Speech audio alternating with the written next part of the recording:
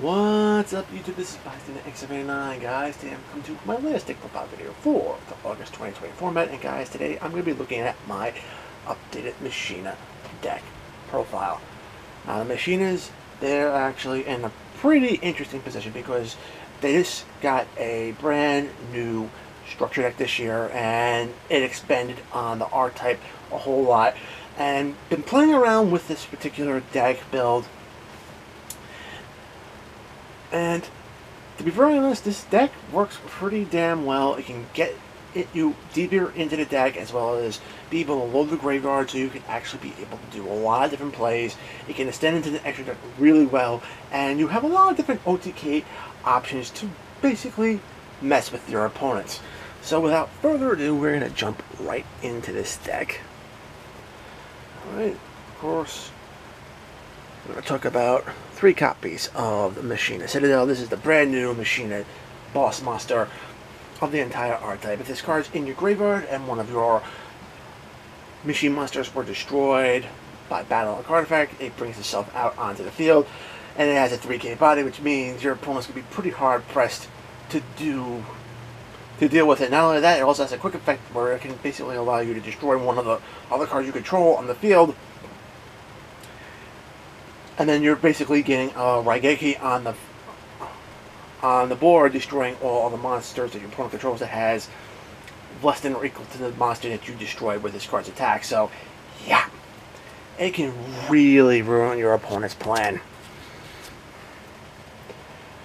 We got two copies of Machina Metal Cruncher. Metal Cruncher is the level 9 monster. On summon, you can actually reveal three Earth attribute machine tech monsters from your deck. Opponent chooses one at random to add to your hand. That lets you shuffle back in your deck. And from there you can just do your regular plays. This card is a godsend for the machine. It is basically a, another Stratos card. And it searches out any Earth Machine monsters in your deck. So you can literally take in other Earth Machine monsters like the Scraps or Trains to really help this deck get going and do other things. If you don't like particular cards in this build. Moving forward, we got three copies of Machina Irradiator. Okay, Irradiator. One of the brand new cards out of the structure deck, you discard a Machina card from your hand to the graveyard, special summon this guy out. While on the field, you can target a machine monster you control, destroy that, and then basically you're allowed to special summon from your graveyard a monster with a different name, but with a level equal to or lower than that monster. So that's actually pretty awesome. This deck is pretty heavy on getting stuff into the graveyard, and it's easy to get off. So definitely worth having in this deck.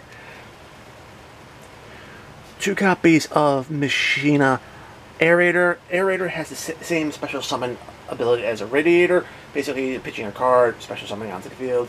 Also has a similar effect to Irradiator uh, in which you pop one of your own monsters. But instead, you're doing this on your opponent's turn as a quick effect and special summoning from the deck. It's the same level of restriction applies though. Um, I find that myself that I'm relying a lot more on Irradiator effect more often than relying on Aerator. So that's the primary reason why I'm only running two of him. Two copies of Machina Megaform, Megaform, if you get him on the field, you, he contribute himself off and basically special summon out another Machina monster right from your deck to your field. Typically, you utilize this guy to bring out Metal Cruncher to basically get into your scrap engine to basically continue your plays.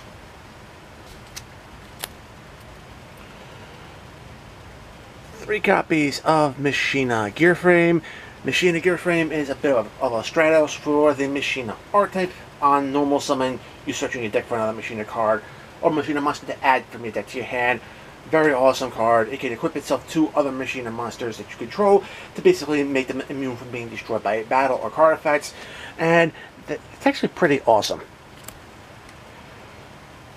Two copies of Machina uh, Possesstorage. Now you could turn around and possibly say maybe drop this card to one, maybe play one more Scavenger. I'm finding more and more, I'm liking two copies of Possesstorage um, in my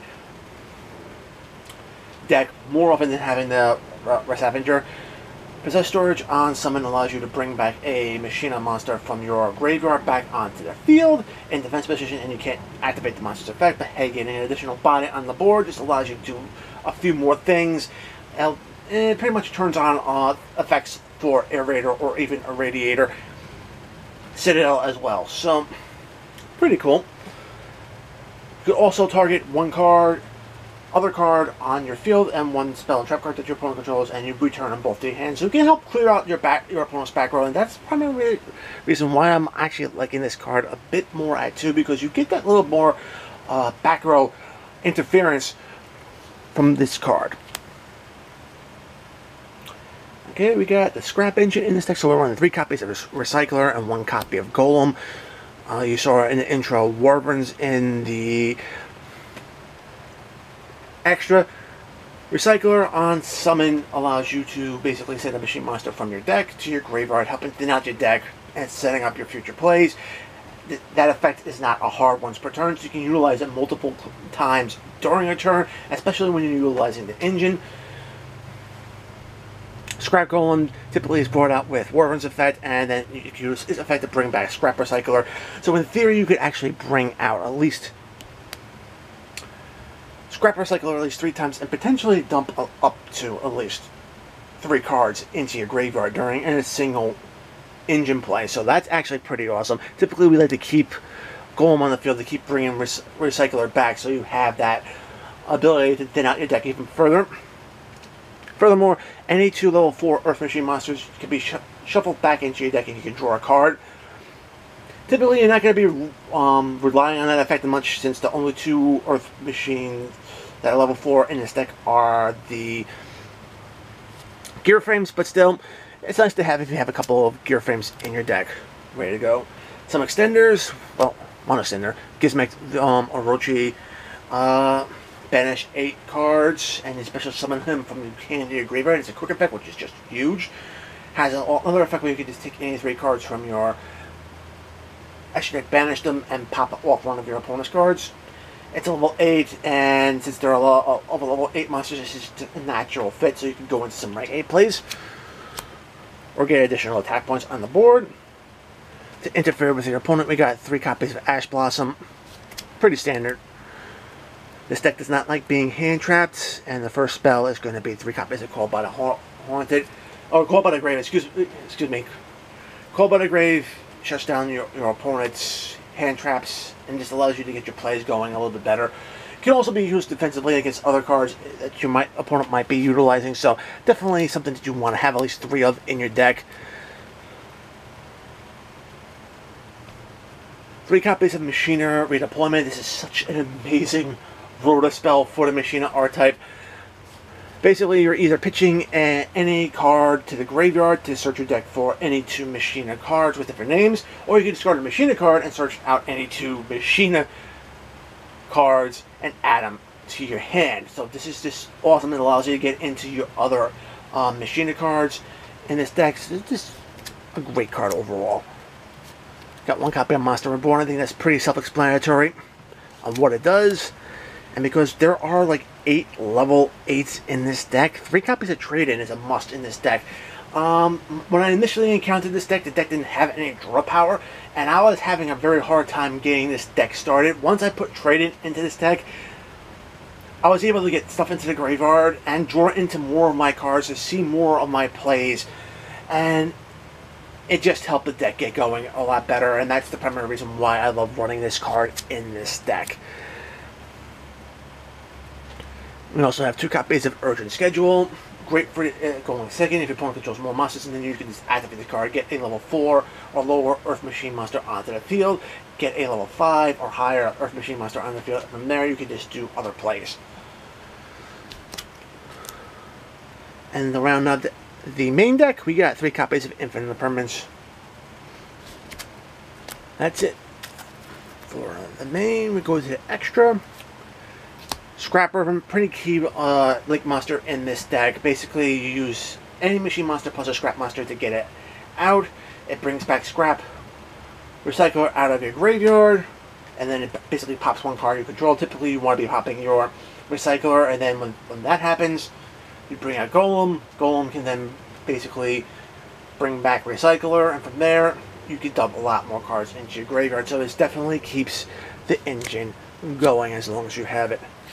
I'm also running one copy of IP Masquerena. I just find having her in the deck allows you to go into different link plays, and it protects those link monsters from being destroyed by your opponent's card effect. So she's definitely worth having in here. Knightmares, one unicorn, one phoenix, back row, and this spins off any card back to your opponent's deck. We got one copy of Borrelsword. This is basically if you climb in, link climb into this card, utilizing something like IP Masquerena, yes, you're going to be able to get a pretty very nasty monster on the board that can OTK your opponent, and it's definitely worth having in this deck just for that extra option. Now for the anti-Dogmatika section of the extra deck, uh, one Nova, one Nist, and one Invoke Mechaba.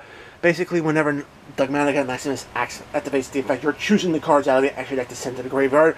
So basically, you can send a Nova and Nist. Nist will pop something off their field. Nova, when it's in the graveyard, will allow you to get Mechaba onto the field, and Mechaba is a level 9 machine monster. That also gives you a negate, so you get that extra level of protection. And being able to extend into rank 9 plays as well if you want to go that far. Any two rank 4s can fit in this deck. I like running Tornado Dragon and Abyss Dweller, primarily for back row as well as disrupting the graveyard plays. You can fit in any other rank 4s that you feel necessary in this deck. For rank 8, Harp Titanic Galaxy, and Dingirsu. Uh, they're both pretty self-explanatory. Uh, can get problematic monsters the, off the board and protect your monsters. This card can basically negate spells and redirect attacks to itself. So, yeah, both great cards to have in this deck. True King of all calamities. That's a must in this deck. Get two level 9s on the field. Boom you shut down your opponent's monster effects really easy. And then for the rank 10 package, one copy of Rail Cannon and Gustav Max to burn for 2000, and then you overlay into Liebe, and Liebe can basically just start swinging with 6k attack on, at your opponent's monsters, and they're going to be pretty hard pressed to beat it back then.